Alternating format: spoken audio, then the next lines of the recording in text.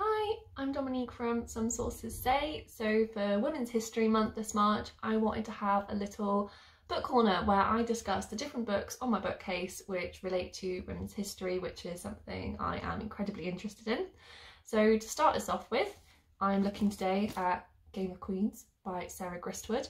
This book came out in 2016 and essentially looks at the women who made 16th century Europe.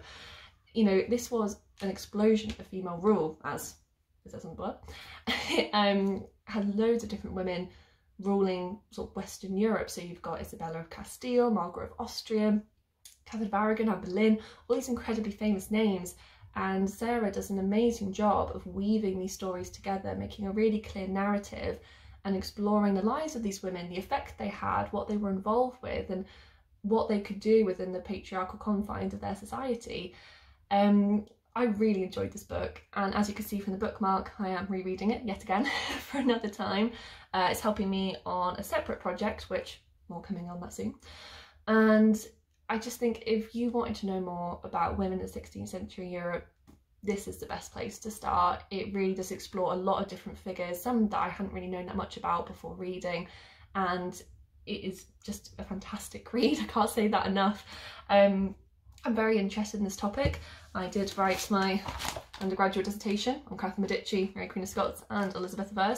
So, you know, when this book came out, I was absolutely delighted. It was just all my research interests in one area and I really think you'd enjoy it too. If you want to pick up a copy, you can get it from wherever you get your books, Amazon, Waterstones, local bookshop.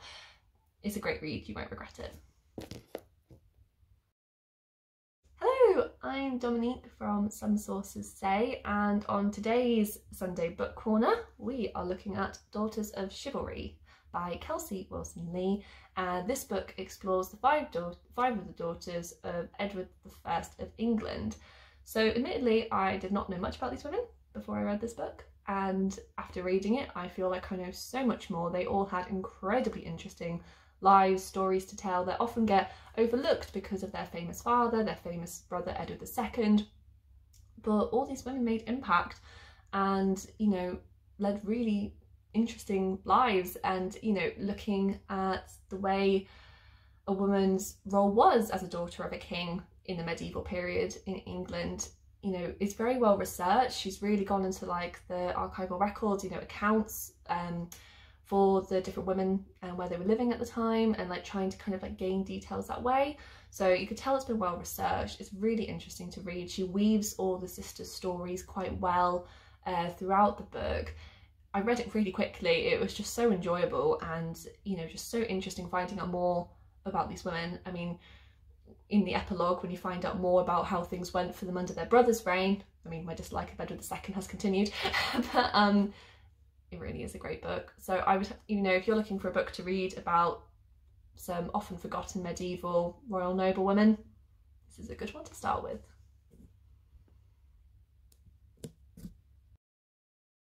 Hi, today on the Women's History Month Book Corner, I am looking at The Empress by Meg Clothier. This is one of my favourite historical fiction books of all time. I read it a number of times and enjoyed it every single time. It's about Agnes of France who was married to the heir to the Byzantine Empire and it's about her life once she's once she arrives there as a young bride and everything that happens to her. I don't want to say too much about it obviously, I don't want to spoil it, but um, it's a great look at you know Byzantine politics, the court there. Byzantine Empire wasn't something I knew a lot about when I first picked this up many years ago. Um, but it's something I've researched since. It's incredibly interesting. And when I read the historical note at the back of the book it's amazing about how much stuff that when you're reading you think oh that must be fiction. It's just too far-fetched. But no really happened.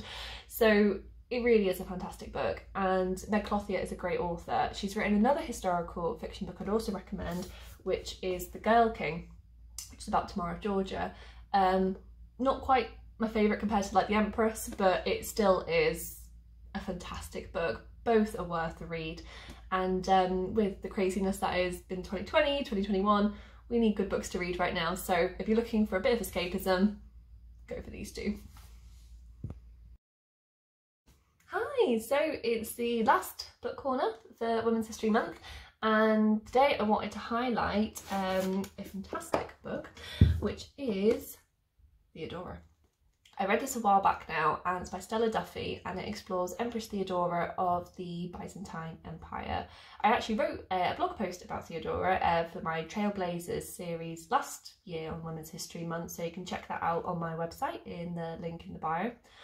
Theodora is a really interesting figure and you know this book does a wonderful job of mixing fact and fiction together to develop this really great story. Um, there is actually a sequel as well which is the Purple Shroud. So the first book sort of is more about kind of Theodora's origin story, I suppose, like her early beginnings, um, all the sort of drama of her early life. And then the second book is very much she's in power, she's with Justinian. Both are brilliant books. It was a great series to read. I really enjoyed them. And I think if you're looking for some new historical fiction to have a read and want to focus on an interesting female figure in history, these are absolutely great. Um, you can get them wherever you normally get your books, Amazon, Waterstones, local bookshop. So um, yeah, I would highly, highly recommend.